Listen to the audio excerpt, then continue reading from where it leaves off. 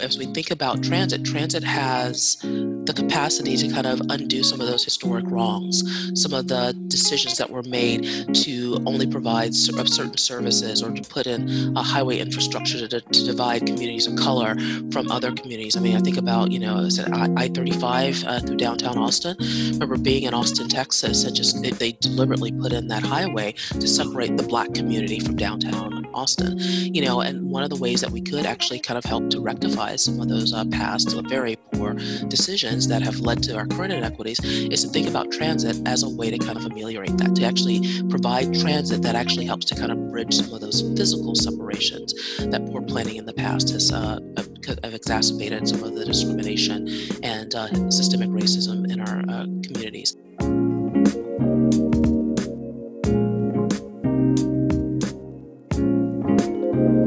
Guests this morning are Dr. Tracy Corley, MassINC's Transit Oriented Development Fellow, and the author of From Transactional to Transformative The Case for Equity in Gateway City Transit Oriented Development. And joining us from Denver this morning, good morning, Susan Wood, co author of the American Planning Association's Planning for Equity Policy Guide. And she serves as the planning project manager with the Regional Transportation District in Denver. So, welcome to you both. Thank you. Uh, Tracy, let's begin by talking about your report, basically, that examined uh, transit oriented development. And let's talk about what that is specifically, and here in Massachusetts, what it means for gateway cities. Yes, Bob. Thanks very much uh, for just opening all of this up and also hosting this today. Um, just so that uh, folks know, uh, in case you're not familiar, a gateway city is here in Massachusetts is a what a lot of other places call a legacy city. They're typically former industrial regions or, for, or former industrial cities that uh, thanks to deindustrialization of the 70s and 80s, have found themselves in a place where they're trying to figure out how to reinvent themselves, how to rebuild. And here in Massachusetts, there are actually uh, 26 uh, gateway cities that are actually uh, defined by the legislature as gateway cities based upon certain demographics and characteristics. And of course, you know, for those of you who might not be familiar, transit-oriented development are those districts uh, surrounding uh, rail or other high capacity or multimodal transit hubs. Uh, typically that's about a half a mile from where the transit station is located. And we oftentimes talk about those areas as uh, um, uh, uh, that uh, district boundary as that 10 or 15 minute walk from the transit station uh, to kind of create those walkable districts and walkable neighborhoods.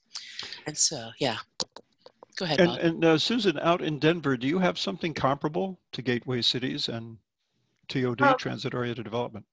Yes, we certainly have development around our station areas, around our rail lines, and also development that we believe will be coming around our bus rapid transit lines as well. Um, a little different because the West is so much newer than the East, and um, it, it, it, instead of areas um, having existed for a long time uh, with with people who who live in those station areas, um, it's more that some of them are brand new. And, uh, but certainly we do have much the same thing in the sense that uh, we have development around our station areas or transit oriented development. Uh, Tracy, what has been the history of transit oriented development around our gateway cities? Well, it's pretty interesting that uh, with our gateway cities, um, a lot of them have uh, commuter rail stops. And as we know here in Massachusetts, the MBTA manages the commuter rail network. And when that system was set up back in the 50s or so, um, those station areas were set up to help shuttle people into jobs into downtown Boston.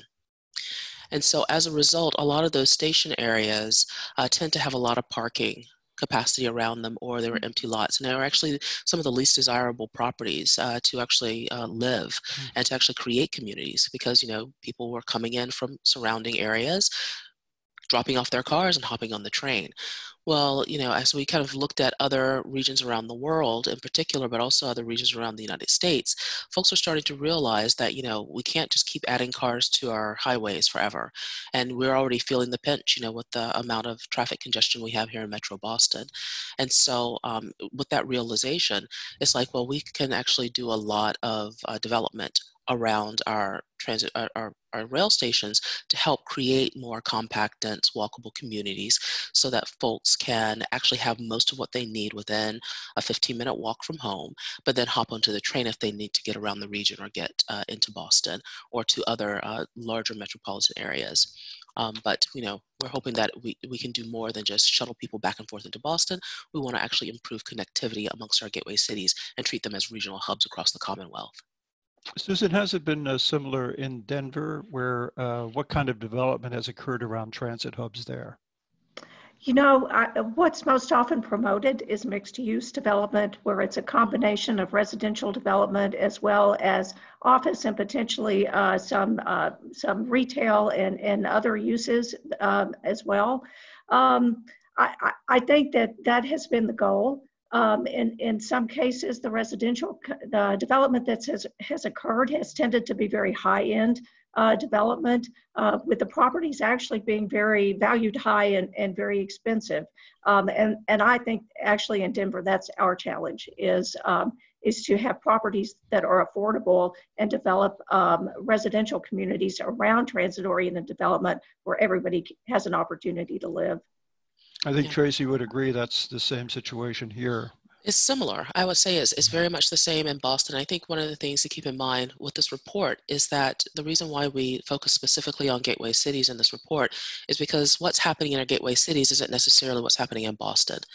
Because the markets are much weaker in our gateway cities, as well as uh, uh, each of our gateway cities is very different. You know, there's, I mean, you can't really talk about them all as if the same thing were happening in each and every single one of them.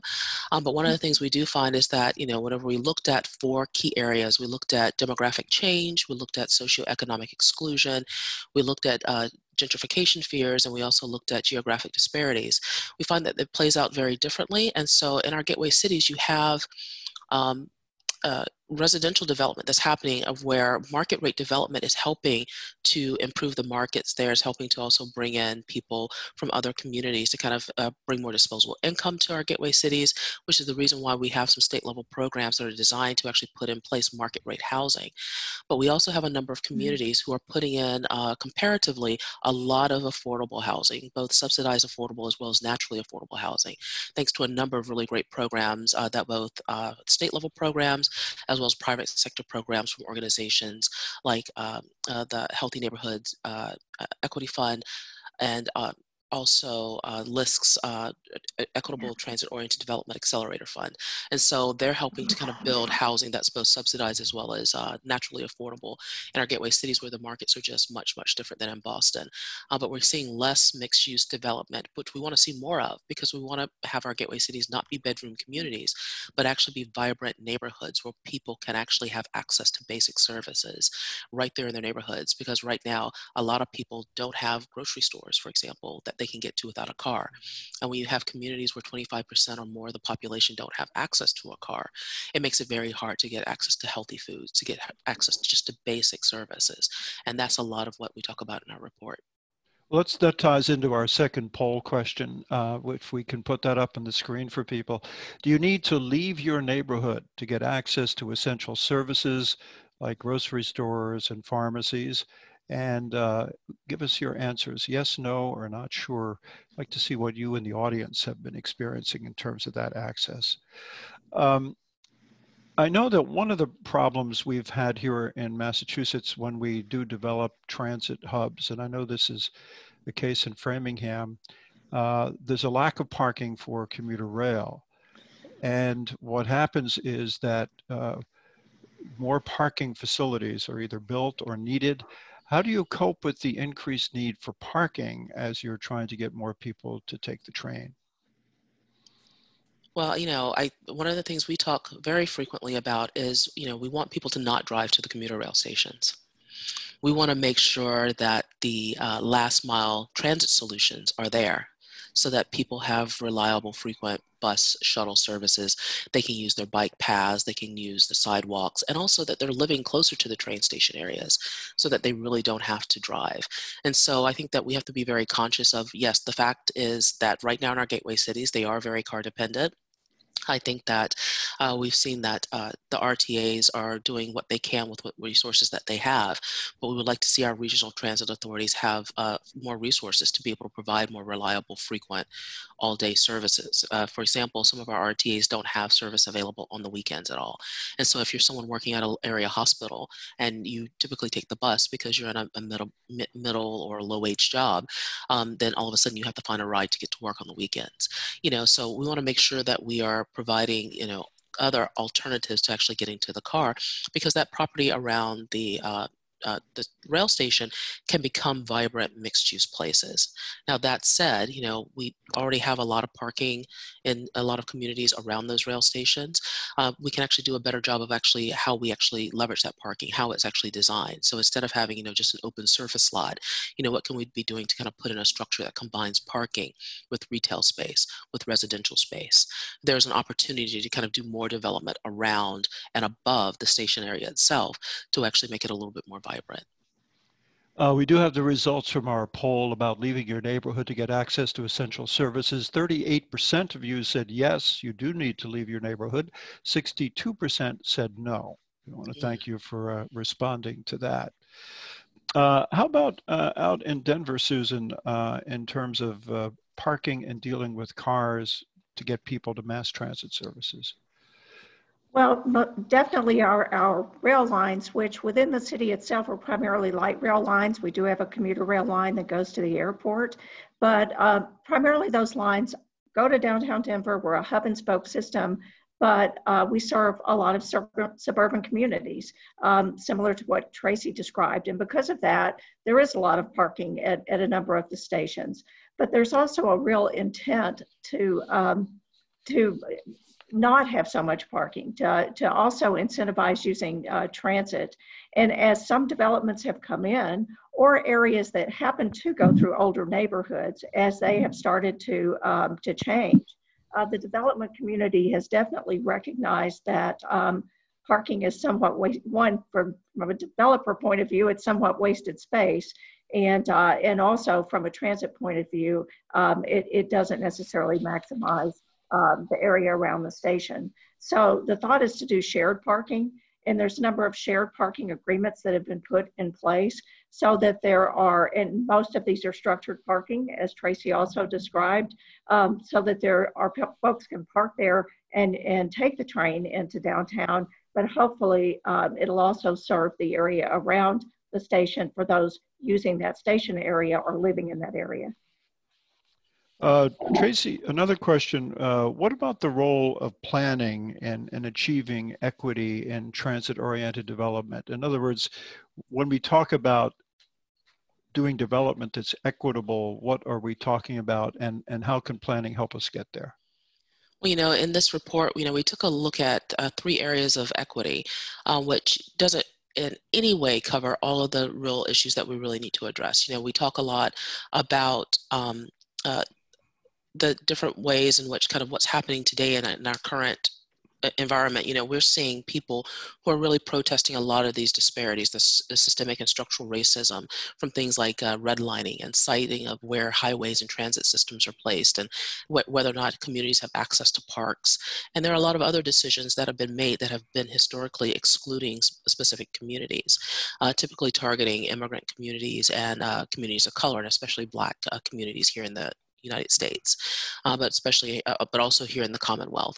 And so, you know, whenever we look at um, kind of what our the composition of our gateway cities look like if we look at with the demographic change we see that you know over the past 10 20 years uh, our gateway cities have become more and more diverse as a lot of the immigrants as well as people moving from other parts of the country and looking for affordable places to live have been flocking to our gateway cities and those folks who have been coming most recently have been people of color rather than people coming from maybe uh, historically european countries and where they can more uh, quickly assimilate and kind of uh, uh integrate as white members of our society.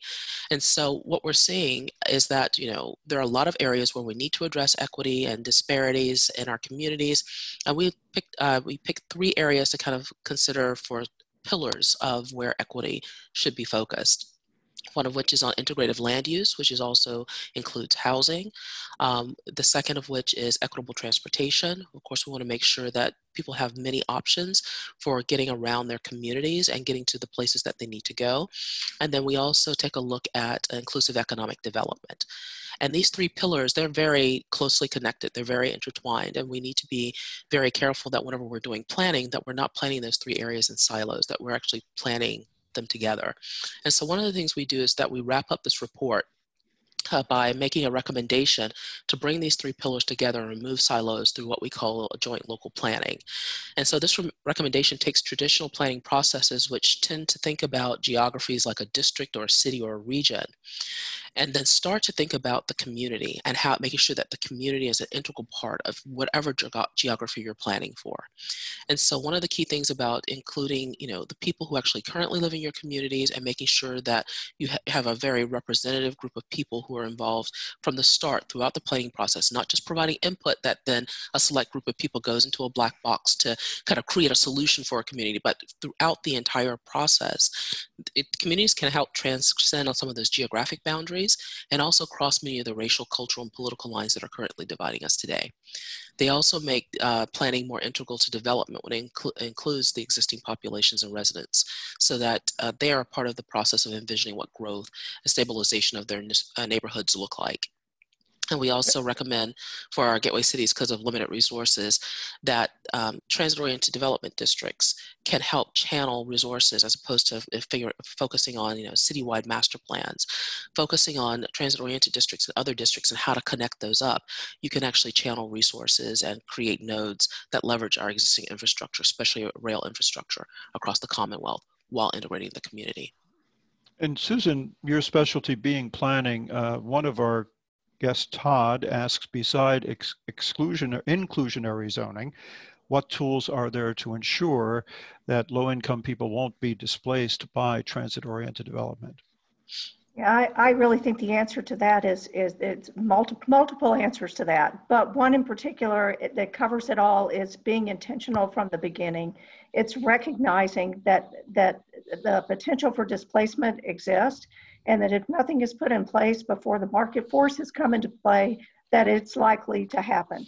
Um, once the area, uh, the land value goes up, it's very hard um, if you haven't planned for that occurrence to put that genie back in the bottle. So, from a planning perspective, um, the first place to begin that is each community plans for its future and to start with the comprehensive plan or master plan, which is always a public process uh, where uh, community members weigh in about what they want to see for their community, to start there and start to put that vision and goal in place that uh, that inclusive housing will be uh, important and inclusive community is important and that displacement is something that's that's that's not desirable.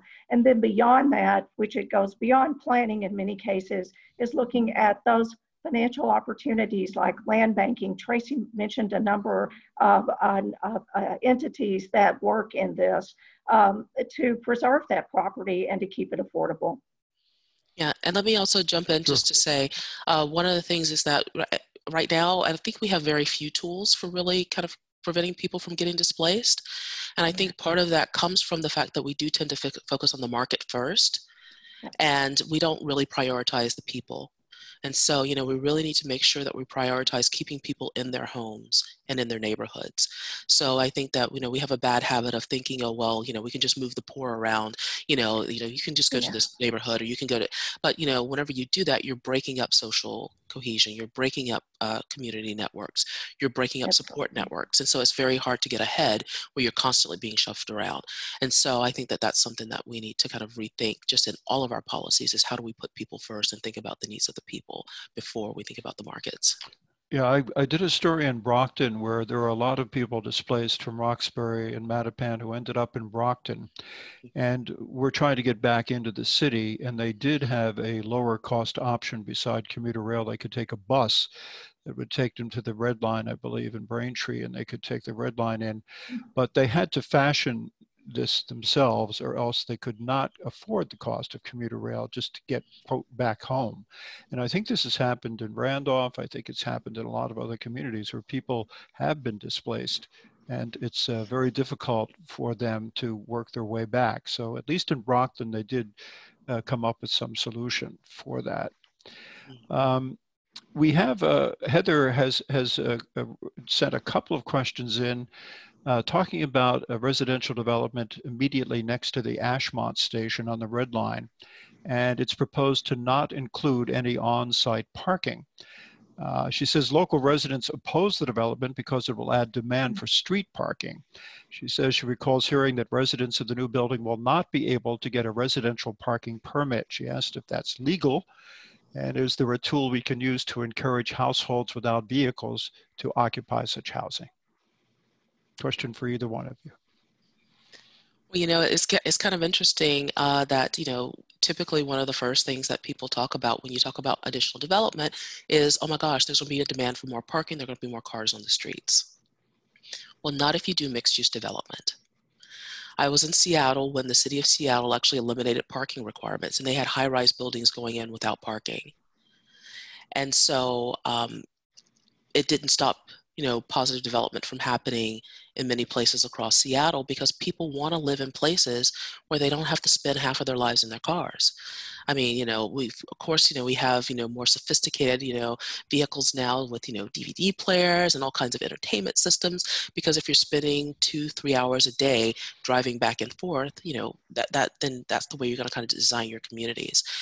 Well, you know, if you have communities where you are able to walk everywhere, I live in Boston in a community without a car, and I probably rent a car maybe two or three times a year because I really don't need it because I have everything that I need right here and within walking distance. I mean, that's part of the reason why we asked the question, how many times have you left, you know, your community since this pandemic started? I really haven't had to leave here, um, but twice since I've uh, Uh, I mean, and that's only because I need I wanted to get something from Trader Joe's, and there's no Trader Joe's in my neighborhood, you know. But pretty much, I have four other grocery stores I can choose from, but I really wanted something from Trader Joe's, you know.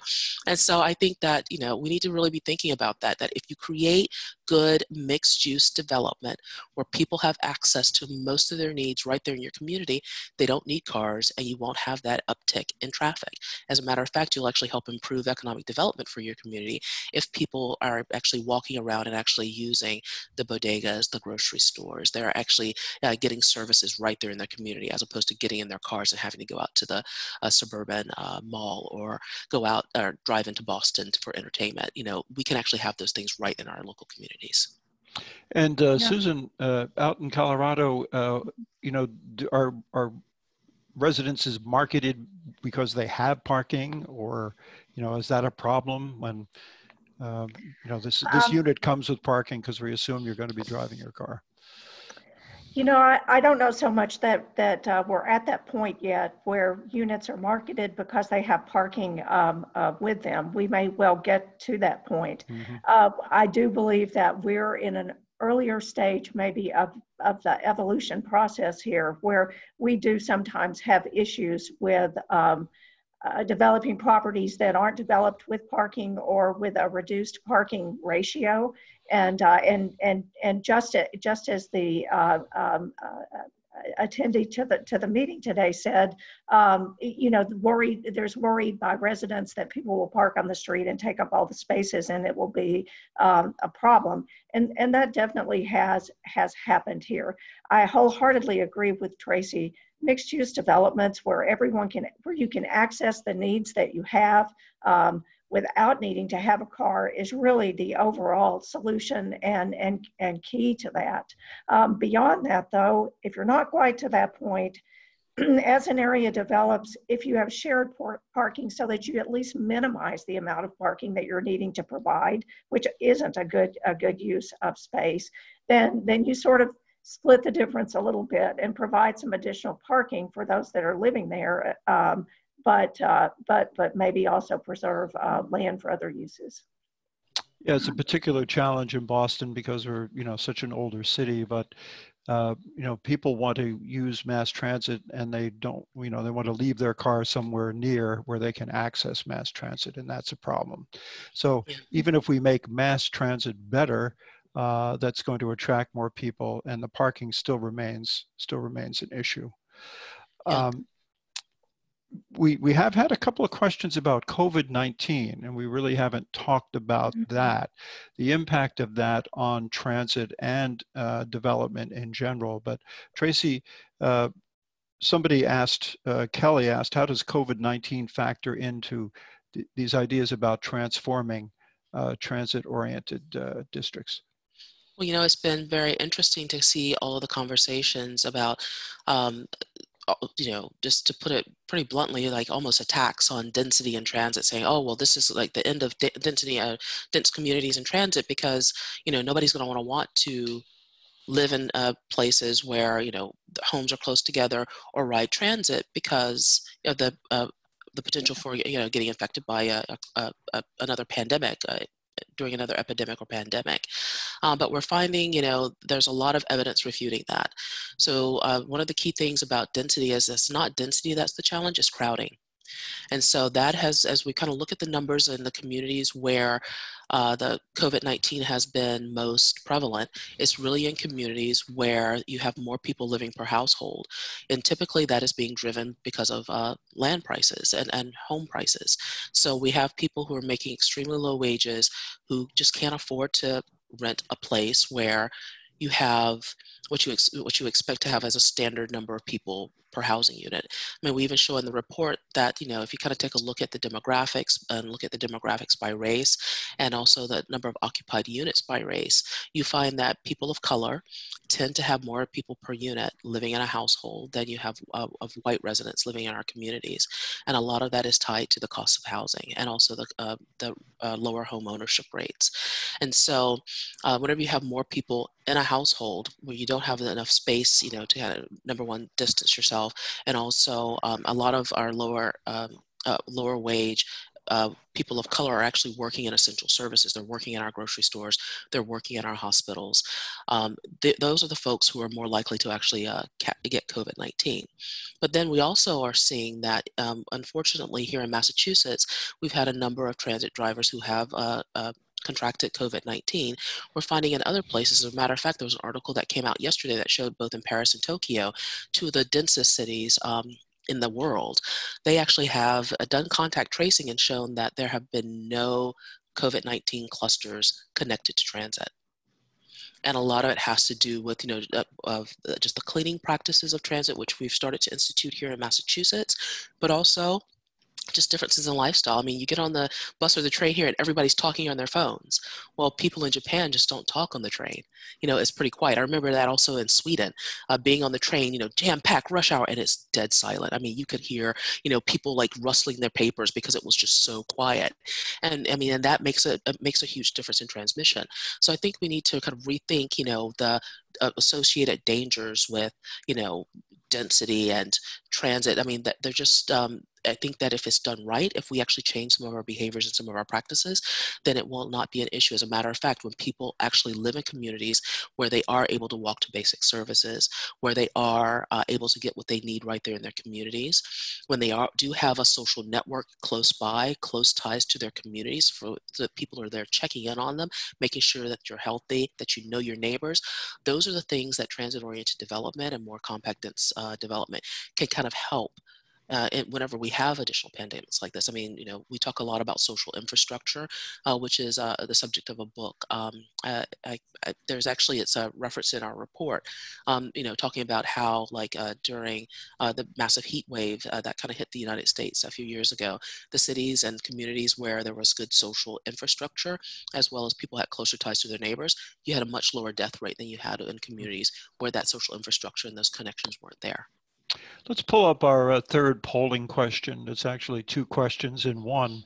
Uh, in your neighborhood, are you able to walk to transit from your home? That's the first part of the question.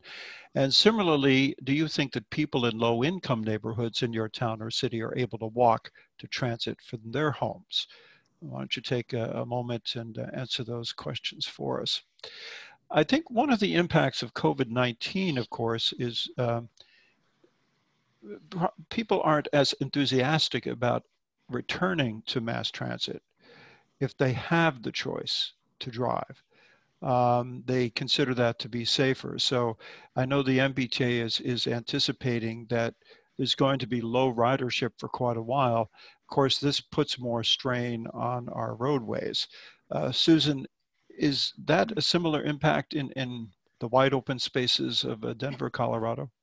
Um, yes, it most definitely is. When the pandemic hit in Denver in March, we saw a drop in uh, ridership by around 70%. I mean, mm-hmm. it was like falling off, off a cliff.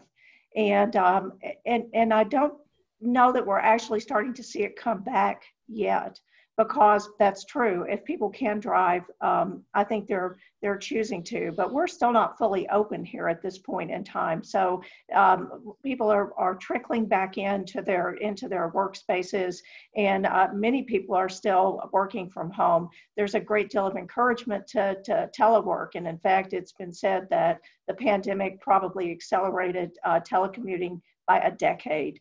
Uh, and I think that that, that is likely, uh, likely true. Um, so in some ways, as the transit provider, we, we, we certainly have some concerns about our ridership coming back um, because that is the service that we, that we provide.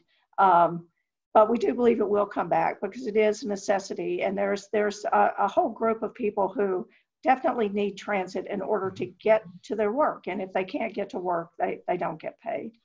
And I think this is where the equity issue comes in because the yes. people who don't have the option of driving are often the lower income service workers who have to take the bus and the T. Uh, Tracy, what about that? Yeah, well, you know, it's kind of interesting that our polling has shown that, you know, even though uh, amongst the folks who actually responded to our poll, uh, a lot of them are working from home. That's not universally the case. I mean, a lot of folks just don't have the ability to work from home, and so and I think that that has been uh, left out of the conversation as to, you know, kind of exactly what kind of jobs are we prioritizing as we're putting in place some of these both emergency as well as long-term policies um, around uh, COVID-19 and how we respond to it. Um, so I, I think that yeah, I mean, that is, spot on. You know, we need to think about not only those who are transit dependent in terms of those who can't afford to use transit, but there are also a number of people who just can't drive, you know, whether it be because of uh, health concerns that they might have. And also, we have a, a rapidly aging population where, you know, we want to make sure that people who are, are that that uh, make sure that our seniors aren't trapped in their homes because they can't get around because they don't have access to reliable transit.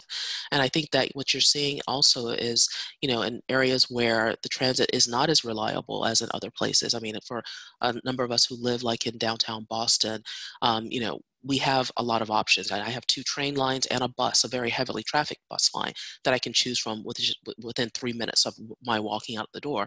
But that's not the case for a lot of folks across the Commonwealth. And so in places where there aren't options, I mean, you know, or the options are very slim or the bus lines don't match up with the, the different shifts and the different types of work uh, that are uh, that are had around uh, the community or uh, doesn't really take into consideration the other reasons why people need to get around town because only 15% of travel is uh, because of people needing to get to work you know we need to think about holistically about the reasons why people need to get around and as things open back up people are going to also be very desperate just to reconnect with friends and family and if they've been displaced from communities they're going to want to be able to get back to those communities to, in order to be able to check in on friends and family. And so we need to be th- really thinking about those things and making sure that we have options in place so that people don't have to drive. But it's going to take a, lo- a lot of commitment and a lot of investment in making sure that we have the kinds of service that people are looking mm-hmm. for. And those people who need mass transit need to get to it. Yeah. And I think that's a really important aspect of, you know, transit oriented development around transit hubs. We do have the results of that poll in your neighborhood. Are you able to walk to transit from your home? 74% said yes, 26% said no.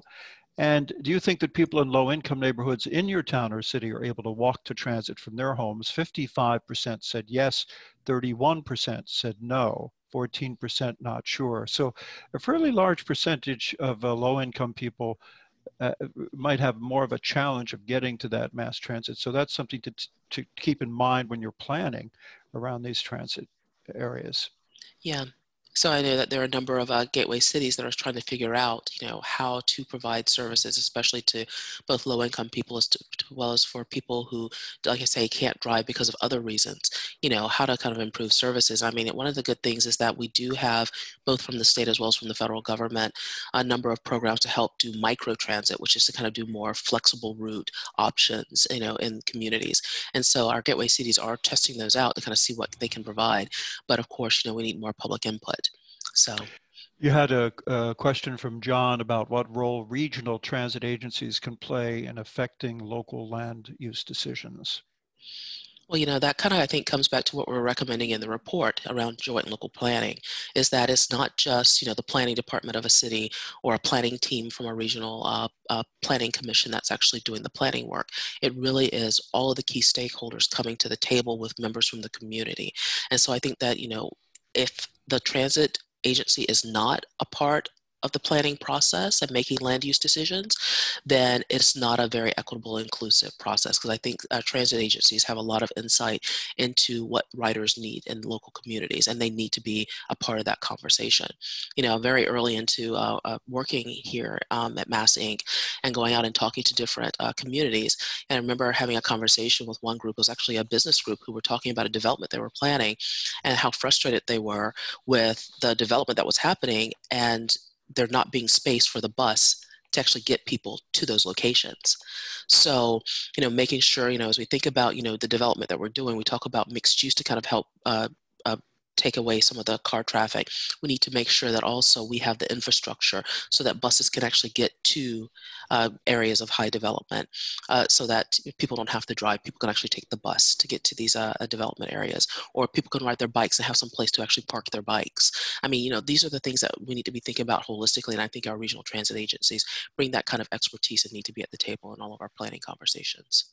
Uh, Susan, out in Colorado, what kind of links do you have between, do you have regional transit authorities? Do you have services to bring people to, uh, you know, larger uh, commuter transit hubs?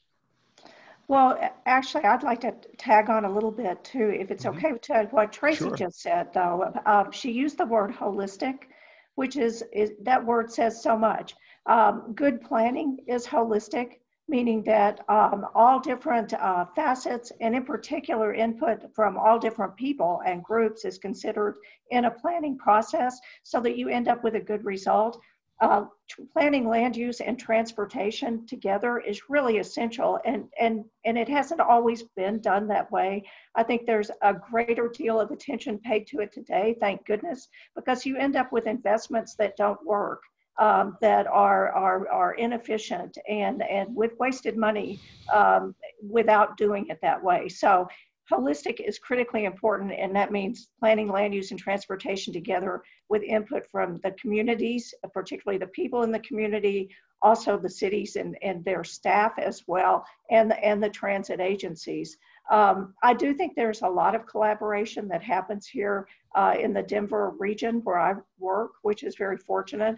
The Regional Transportation District, which is the transit provider that I work for, um, covers an eight county region. So that makes it a little easier to begin with because we cover such a, such a large area.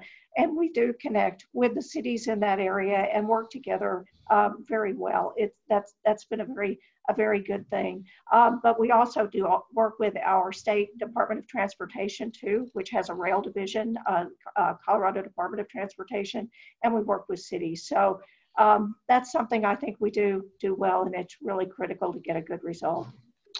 Yeah. Uh, and I know here in Massachusetts, we're reworking our regional transit authorities. Uh, each one of the 15 of them is, is really different. Uh, it's really hard to uh, you know set standards for each one of them because they're so different, but they're so vital, uh, especially for people who need transit. Uh, and they come at a low cost, which brings us to the uh, subject of the cost of transit. And uh, Tracy, I know you and I have been talking about a very important decision that the MBTA has made with regard to extending a pilot program they began by offering commuter rail service from Lynn into Boston at the same cost as a subway fare. This is a substantial difference in cost, $2.40 versus the commuter rail cost of $6.50. So Uh, this is being done to encourage ridership to shift from the crowded blue line or bus routes into Boston to the less used, at least temporarily uh, less used commuter rail service from Lynn.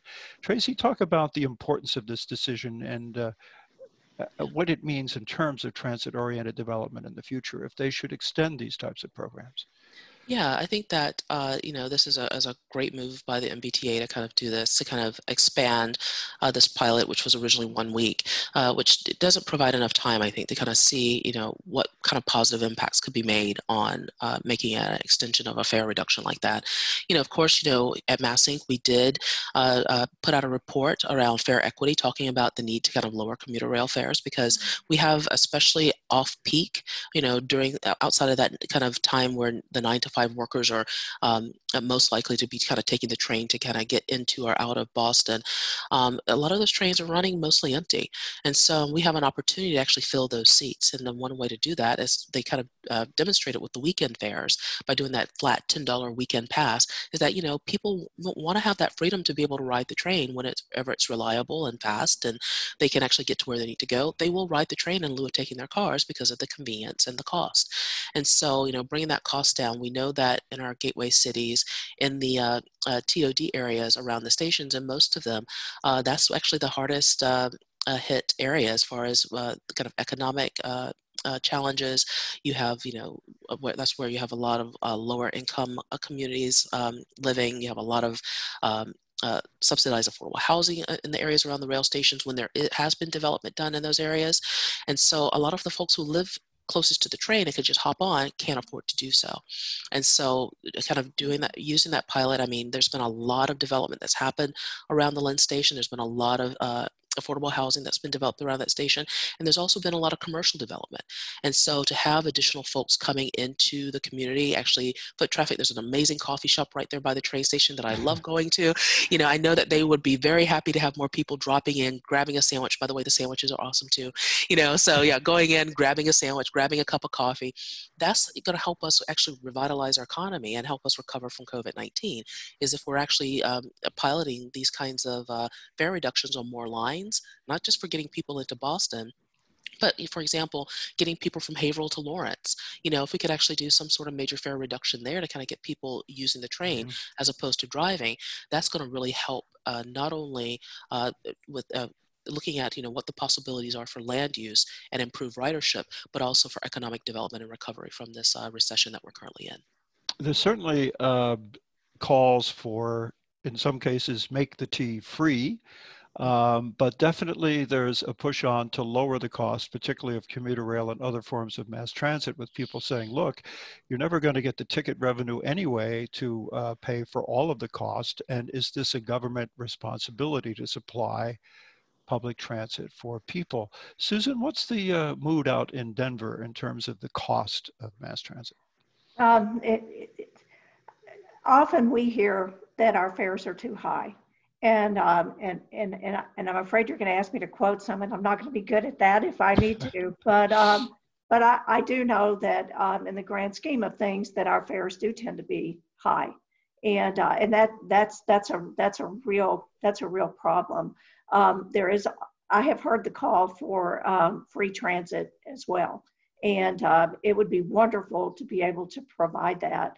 I think what's going to have to happen for that to happen is for there to be an overall recognition of the need for it and, and the value of it um, in order to fund it. I mean, it is a public good, it's a public service. We fund other public services as the public. So uh, perhaps one day we'll reach that point.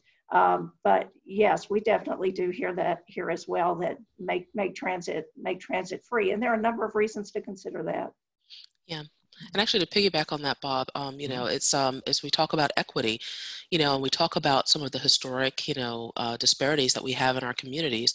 You know, as we think about transit, transit has the capacity to kind of undo some of those historic wrongs, some of the decisions that were made to only provide certain services or to put in a highway infrastructure to, to divide communities of color from other communities. I mean, I think about, you know, I 35 uh, through downtown Austin. I remember being in Austin, Texas, and just it, they deliberately put in that highway to separate the black community from downtown Austin. You know, and one of the ways that we could actually kind of help to rectify some of those uh, past uh, very poor decisions that have led to our current inequities is to think about transit as a way to kind of ameliorate that, to actually provide transit that actually helps to kind of bridge some of those physical separations that poor planning in the past has uh, uh have exacerbated some of the discrimination and uh, systemic racism in our uh, communities of using transit as a tool for providing more mobility and access. So whenever you think about transit as, as a tool for equity as opposed to a system that has to pencil out, it does really change your perspective as to how transit can be used and what the costs truly are. Because if you're able to lower some of the other costs, like public health benefits, social services, because people can't get access to opportunities or get access to resources that they need to grow and develop themselves and, and their communities. If you can mm-hmm. actually leverage transit in that way, then the cost uh, conversation really shifts whenever you take into consideration all of the costs, not just the cost of operations. Yeah. Well, I think the MBTA is at least embarking on taking a look at its entire fare structure. And uh, we're going to be hear more, hearing more about that in the months ahead. Uh, Sean raises an interesting question. Since transit and development issues by their nature cross jurisdictional boundaries, what is the best way to establish a regional decision-making process for planning and development?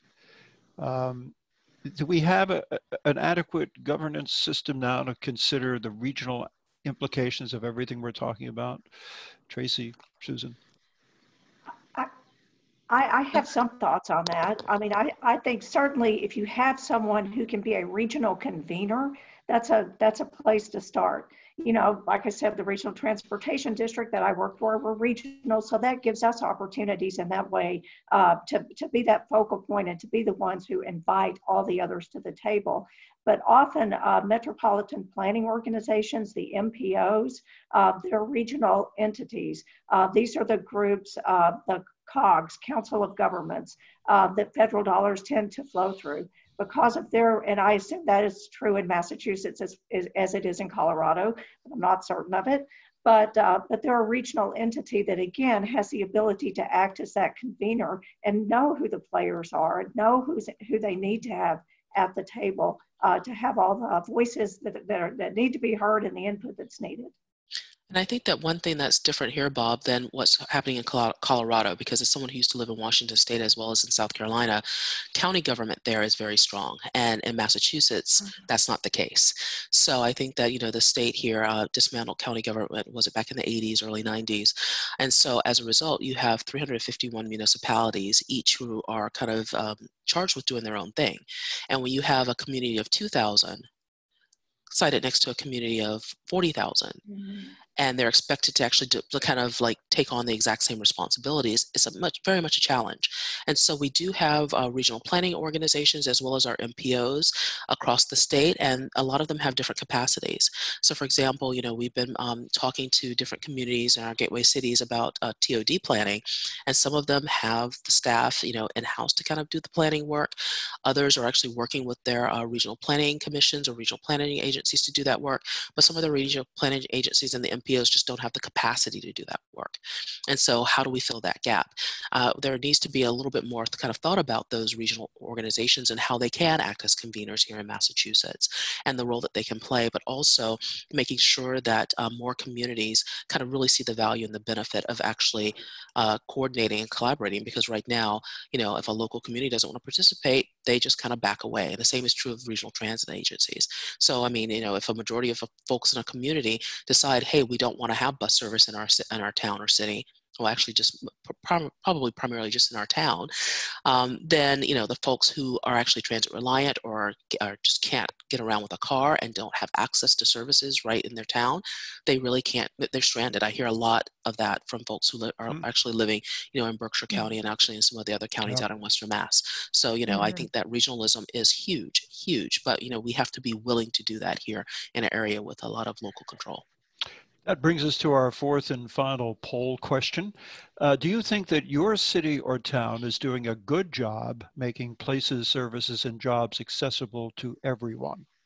We uh, ask you to check in there at our poll question number four.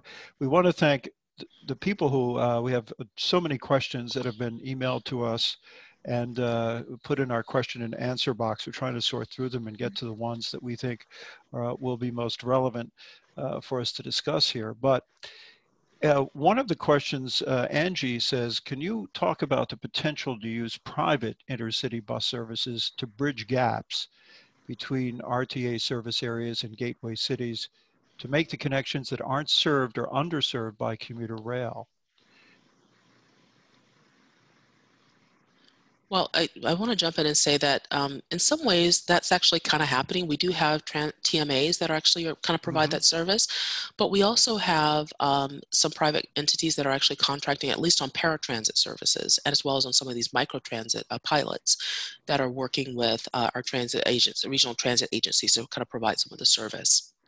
Uh, I think that um, with more uh, funding, with more um, authority, that's our regional transit agencies can do more of this kind of coordination, kind of almost like a public-private partnership of working with private entities. I, you know, we featured at um, our Gateway City Innovation Awards uh, uh, ceremony last year, actually an entrepreneur who did um, help Fitchburg, uh, in, in, Fitchburg, the uh, um, MART Transit Authority there, um, actually with their paratransit technology, help them with the dispatching of paratransit services, and in the process helped hundreds of private entrepreneurs kind of start transportation related com- companies to provide more than 6 million rides across the state for people who need to get help to health and human services. Um, if we could actually kind of expand that kind of model into kind of filling the gaps and where the regional transit authorities are working with the private sector, because we have a lot of innovation out there.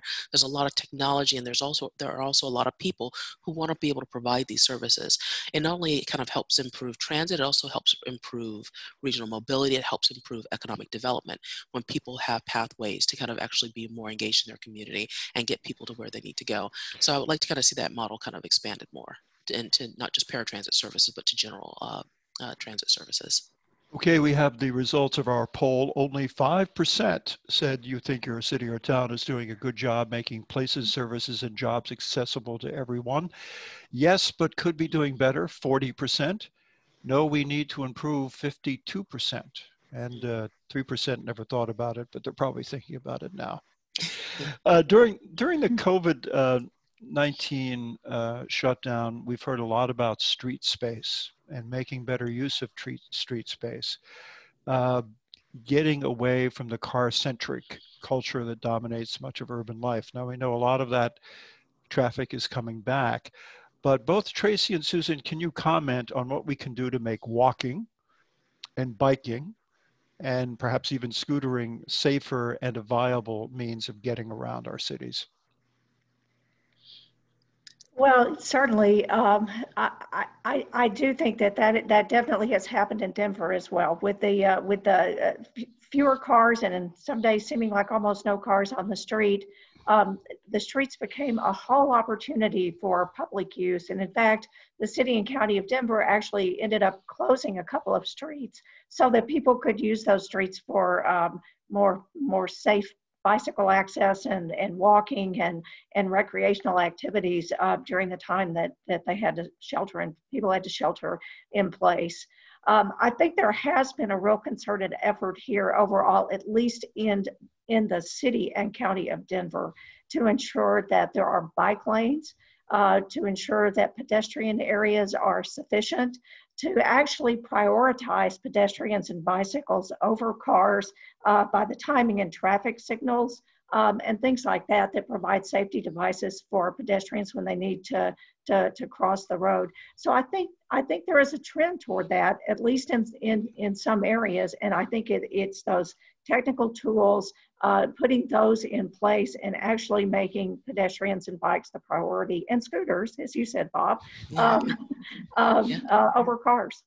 And uh, Tracy in Boston, of course, we don't have the room that they have in Denver. So, it, yeah. you know, do we have enough space to do what needs to be done?